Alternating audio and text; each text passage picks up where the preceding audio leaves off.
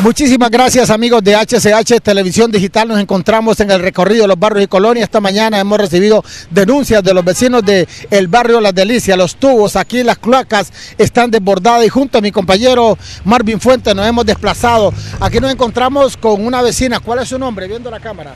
Hortensia Martínez. ¿Usted es la dueña del merendero? De Golosinas Pati. Pati, que vemos un merendero muy aseado, pero lamentablemente la calle es un desastre acá con esta cloaca.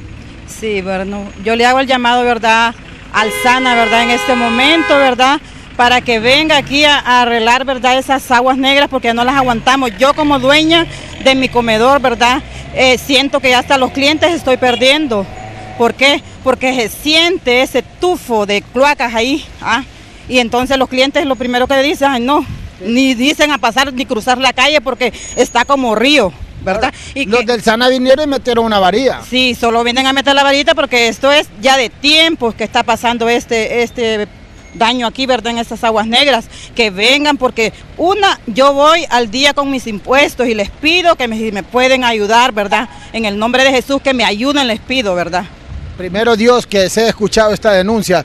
Amigos del SANA, aquí tenemos a otra vecina. ¿Cuál es su nombre? Eh, Jocelyn Alberto.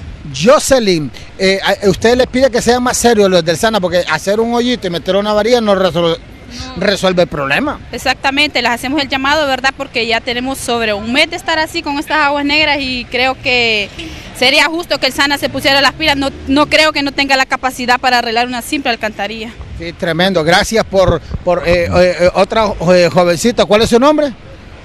No quiere hablar. Bueno, respetamos el criterio de ella. Tenemos aquí, usted, ya vamos a hablar usted con el señor Sastre aquí también. Usted viene a la cafetería. Sí, yo vengo a comer acá, pero ahorita en realidad es, asco entrar ahí, porque tenemos 15 días de estar desde el desagüe de arriba, y el sano solo viene, o le escurga y se va.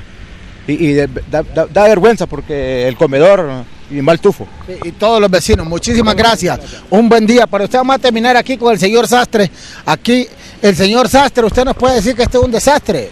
No, pues lógico, hombre. Díganle a que se preocupen, ya que ustedes tienen voz ahí, les escuchan, porque es el canal más escuchado, ¿verdad?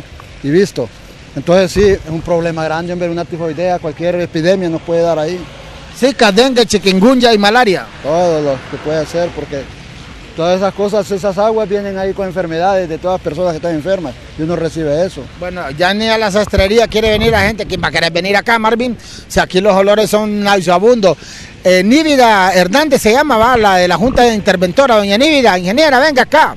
Ahí en la oficina suya es bonito, con aire acondicionado y toda la cosa, música ambiental, comiendo caviar y vino tinto, pero acá es la realidad. Ingeniero Franklin, oye la hola, ingeniero Franklin, venga, se deje la comodidad de su oficina y atienda, por favor, a estos vecinos con el reporte de Marvin Fuentes en cámaras, Tony Quintero, desde un lugar nauseabundo, aquí en el barrio de Delicias de la capital de la República, pasamos al estudio principal de HCH, Televisión Digital.